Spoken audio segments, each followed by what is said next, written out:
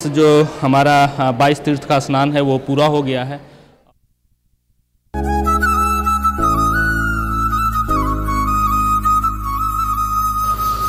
Hello friends, स्वागत है आपके अपने channel A to J trip पे और आज हम लोग जा रहे हैं रामेश्वरम दर्शन करने के लिए। तो सुबह सुबह उठने के बाद, रूम में फ्रेश फ्रेश होने के बाद मैंने डिसाइड किया कि अब सीधा जाके समंदर है, उसमें पहले स्नान किया जाएगा और फिर उसके बाद दर्शन वर्शन कर लिया जाएगा। तो रूम में नहीं ना आया।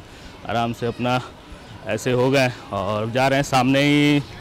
तो चलिए, अगर आप रामेश्वरम के बारे में नहीं जानते हैं तो थोड़ा बहुत मैं आपको बता दूँ कि रामेश्वरम जो है, वो चार धामों में से एक धाम और बारह ज्योतिर्लिंग में से एक ज्योतिर्लिंग रामेश्वरम है। और रामेश्वरम वो जगह है जहाँ पे श्री राम ने राम सेतु पुल का निर्माण किया था और वहाँ से फिर लंका पे चढ़ाई किए थे। तो काफ़ी खूबसूरत और मंदिर की बात की जाए तो जो मंदिर में वो चार द्वार बनाए गए हैं यानी चार गोपुरम।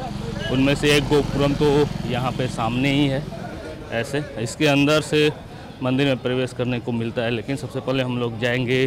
तो हम लोग अभी जा रहे हैं सबसे पहले अग्नि तीर्थ हम सबसे जो मेन गेट है वहाँ पे। और वहाँ पे स्नान वस्नान करने के बाद फिर हम लोग इंटर करेंगे दर्शन करेंगे।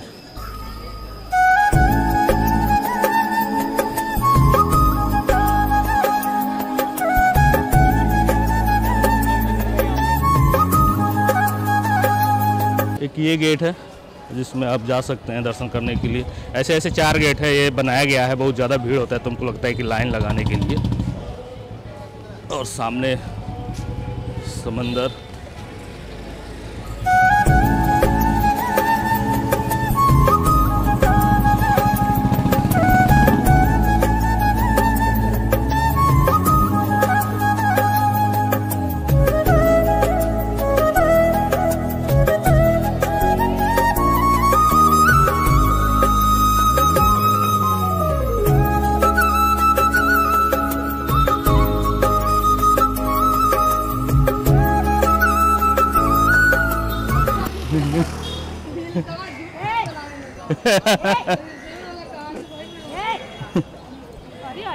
हाँ बेटा वो बाबा सब कितने आ गए बाबा?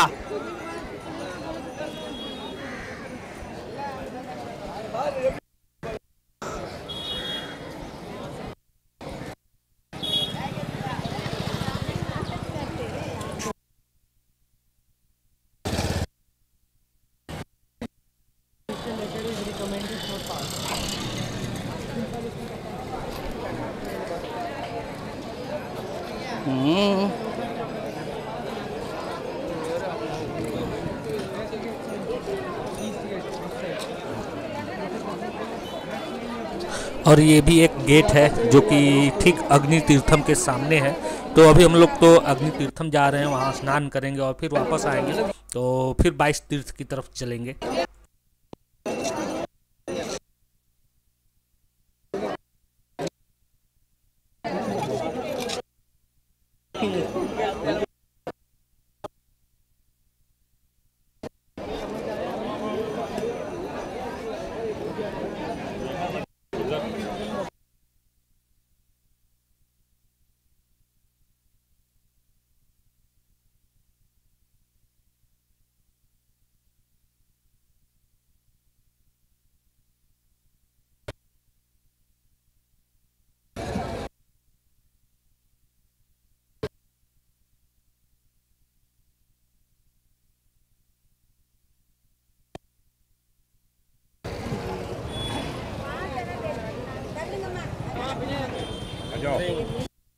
எங்கள் மாமனார் எண்பது சீட் அடிச்சு கொண்டு போய் तो फाइनली हम लोग अग्नि तीर्थम गेट के पास पहुँच गए हैं और ये समुंदर पे ही बनाया गया है, समुंदर के ठीक किनारे अग्नि तीर्थम का गेट और यहीं पे स्नान किया जाता है। अग्नि तीर्थम वो जगह है जहाँ पे रामेश्वरम में जब भगवान श्री राम आए थे तो यहीं पे उन्होंने पूजा की थी और आराधना किया था। और इस वजह से यहाँ का जो समुंदर है वो काफ़ी शांत है और यहाँ पे लहर भी नहीं आती है। तो चलिए फटाफट हम लोग भी अग्नि तीर्थम में स्नान करते हैं और फिर उसके बाद चलते हैं रामेश्वरम जी के दर्शन करने।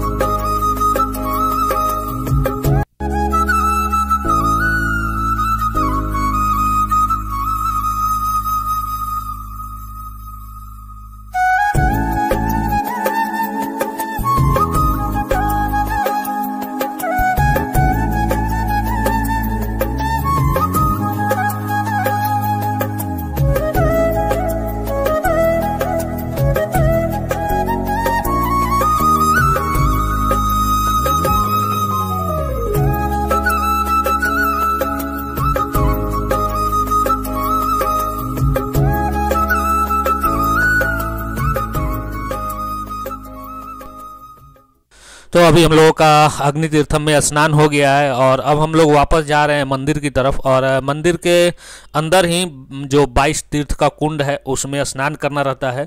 तो चलिए स्नान करते हैं पहले और उसके बाद फिर जैसा भी होता है, आगे आपको मैं बताऊँगा कि कैसे स्नान करना है, क्या करना है और फिर कैसे दर्शन करना है।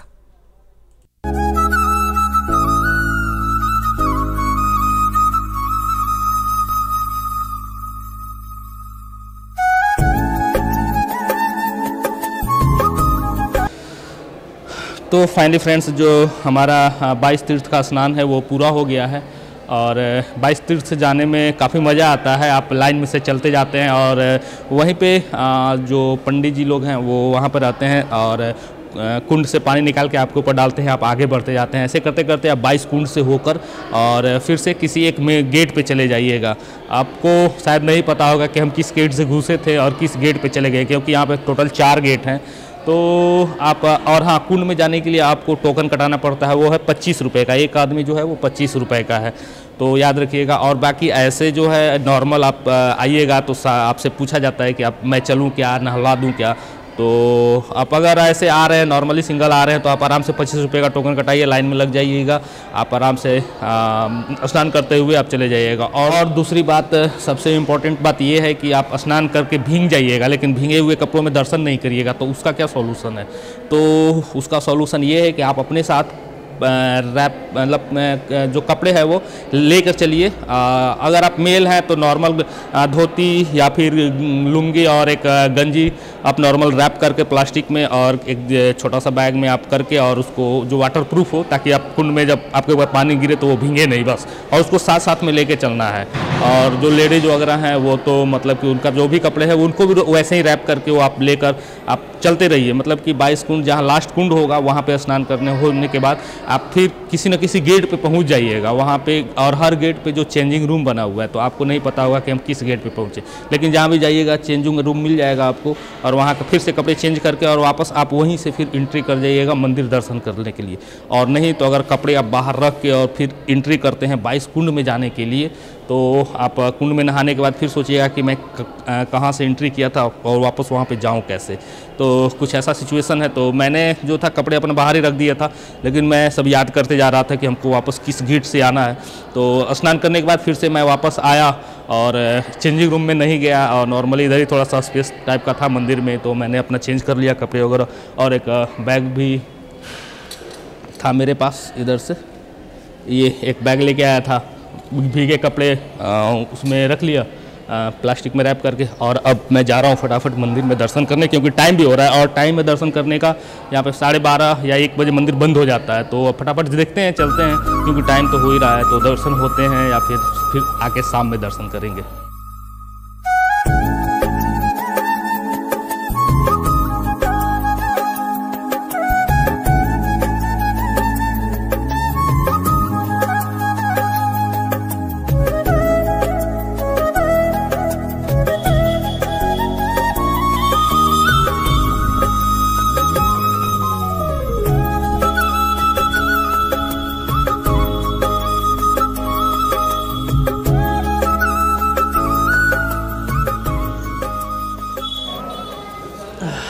फाइनली हम लोग रामनाथ स्वामी यानी कि रामनाथ के दर्शन कर लिए हैं। और दर्शन वर्शन करके बाहर आ गए हैं और उसके बाद फिर भूख भी लग गई है तो ये लोग को इधर बैठा दिए हैं। बोले, कुछ खाओ लो और यहाँ से कुछ पानी वानी खाना वाना खाने के बाद हम लोग फिर थोड़ा सा और चलेंगे और यहाँ से खाना वाना खाने के बाद मैं सीधा चला जाऊँगा रूम पे और रूम पे थोड़ा बहुत रेस्ट करेंगे क्योंकि काफ़ी चलना हो गया। आ, पहले अग्नि तीर्थम पे सुबह सुबह जाना नहाना उसके बाद फिर बाईस तीर्थम पे जाना और वहाँ पे स्नान करना और उसके बाद फिर अंदर मंदिर में काफ़ी लंबा लाइन लगा हुआ था और काफ़ी गोल गोल घूमने के बाद फाइनली अभी यानी कि टाइम कितने हो रहे हैं? डेढ़ बजे डेढ़ बजे हम लोग को दर्शन हुए हैं और दर्शन करके बाहर निकल के आए हैं। यानी कि अप्रोक्स हम लोग नौ नौ, साढ़े नौ बजे चले थे दर्शन करने के लिए और डेढ़ बजे दर्शन हुए हैं। काफ़ी ऐसा है मतलब बहुत अब थकावट सी हो रही है तो चलते हैं, रूम में पहुँचते हैं, होटल में अपने और थोड़ा देर आराम करेंगे। आराम आराम करने के बाद फिर धनुष कोटी वगैरह जाना होगा तो जाएँगे और बात कर लेंगे कोई ऑटो वगैरह से। तो चलिए देखते हैं, जैसा भी होता है, पहले ये लोग खाना वाना खा लें क्योंकि लोगों को काफ़ी भूख लग गई थी। तो खाना वाना खाने के बाद फिर यहाँ से हम लोग चलते हैं। तो चलिए इस ब्लॉग को यहीं पे एंड करते हैं और मिलते हैं नेक्स्ट ब्लॉग में। और नेक्स्ट ब्लॉग में मैं पूरे रामेश्वरम में जितने भी जगह है घूमने के लिए, जैसे धनुष कोटी वगैरह है तो वहाँ पे जाऊँगा और फिर आपको पूरा घुमाऊँगा। तो उम्मीद है कि आपको ये ब्लॉग पसंद आया होगा और अभी तक मेरे चैनल को सब्सक्राइब नहीं किया है तो चैनल को सब्सक्राइब करके बगल के बेल आइकन को दबा दीजिए ताकि ऐसे इंटरेस्टिंग ब्लॉग आपको मिलते रहें।